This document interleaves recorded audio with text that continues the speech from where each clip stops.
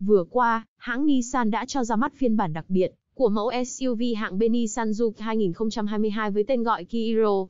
Phiên bản đặc biệt của Nissan Juke 2022 sẽ được bán ra với số lượng giới hạn 5.000 xe cùng mức giá chưa được tiết lộ.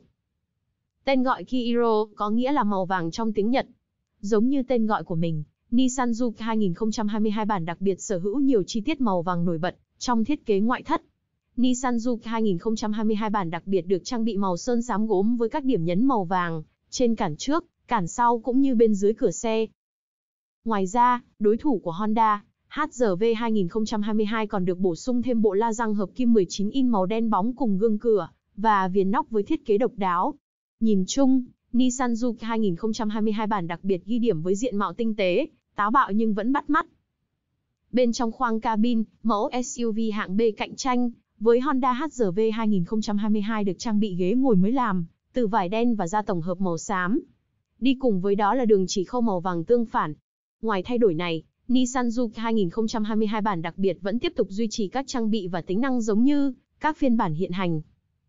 Cung cấp sức mạnh cho Nissan Juke 2022 bản đặc biệt vẫn là khối động cơ xăng 1 lít tăng áp, sản sinh công suất tối đa 112 mã lực.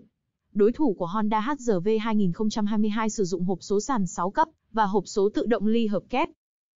Theo kế hoạch, Nissan Juke 2022 bản đặc biệt sẽ chính thức được mở bán vào cuối tháng 2 tới tại thị trường Nhật Bản và Anh Quốc. Trước đó một số nguồn tin cũng cho rằng, mẫu SUV hạng B Nissan Juke sẽ được nhập về Việt Nam và cạnh tranh với Kia Seltos, Honda HRV.